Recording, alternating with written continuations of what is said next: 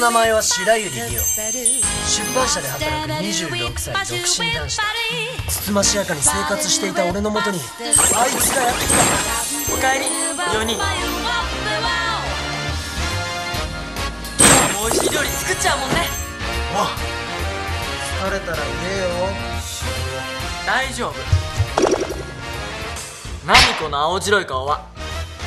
ちゃんと食べなきゃしずる特製焼きとん麻婆冷麺を作っちゃうぞ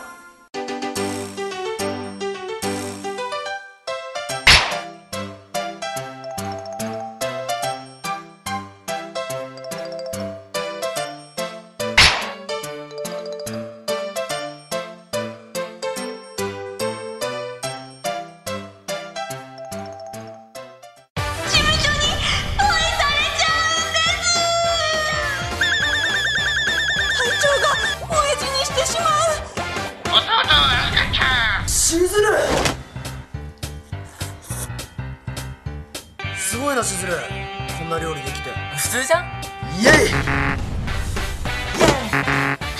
しずる。くん